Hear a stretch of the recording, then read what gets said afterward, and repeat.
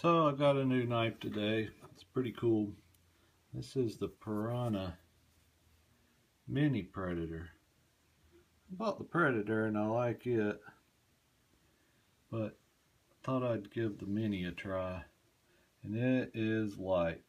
No way to show that in the video, but it is it is so light and it's fast.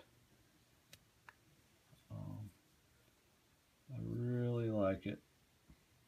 I'd like to carry it, but I've got a lot of knives that I carry, so I'm just going to hang on to this one as a collector knife. Whoops. Um, so I'll get the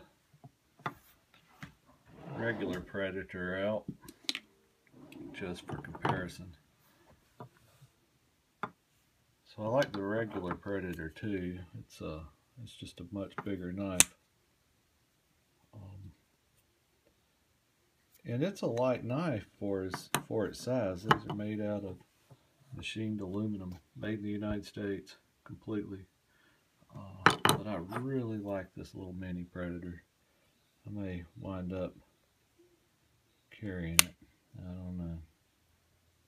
Got more knives to carry than I need, but it's a beauty.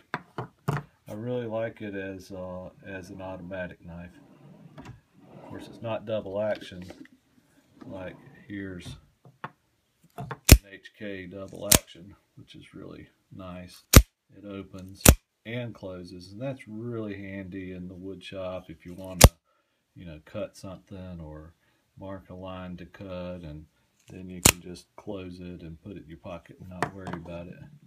Um, whereas this, it's good in that it will open, but you have to mash the button and then close it. Of course, it's not out the front, so it won't come out in quite as tight a space.